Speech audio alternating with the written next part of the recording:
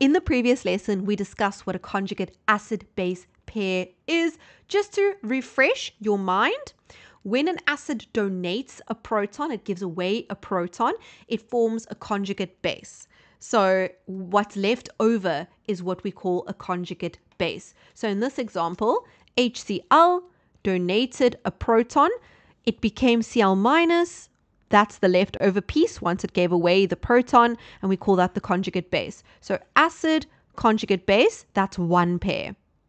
Then the base forms a conjugate acid. So the base accepts a proton. This base, H2O, accepts a proton. It forms H3O plus, making it a conjugate acid. So base becomes a conjugate acid. So let's do these two examples. I want you to pause the screen, try it, and then I will mark it with you. So identify the conjugate acid base pairs in the following reactions. So I want you to try these two quickly. Pause the screen, see if you can do it. So the way that we do this is we pair up the different pieces of the reaction. So here, here we've got NH3 and we can see that it became NH4 plus.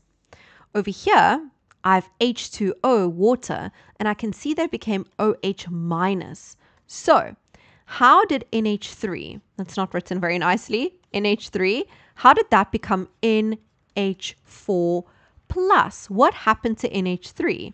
it must have gained a proton. I hope you can see that. If I add an H plus to NH3, it forms NH4 plus. What that means is NH3 accepted a proton. That makes NH3 my base. So my base is NH3.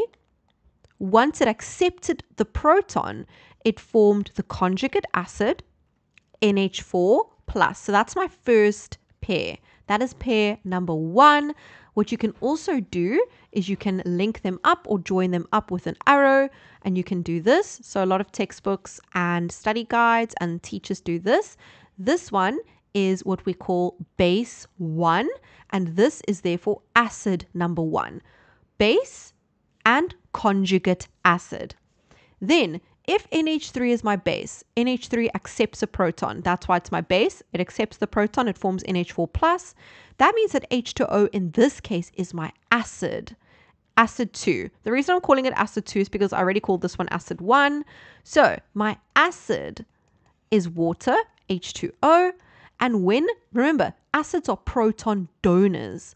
So when it donates a proton, when H2O gives away an H plus, what will be left once it gives away one of its H's? It's just going to be one H left. You can see over there. And it's going to have a charge of negative one. Why?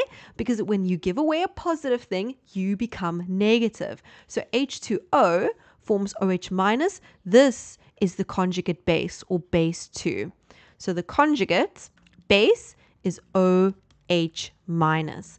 What about number 2? Well, number 2 this is ethanoic acid or acetic acid. It's a weak acid for those of you that don't know that. And you can see that this, the ethanoic acid, becomes this. Those little pieces are matched up together. So I'm already going to draw my arrow in like that. And then this over here, H2O, and this, those go together. So those need to be linked up. So what's going on here? I already called this ethanoic acid or acetic acid, but we can see that this is an acid. Why?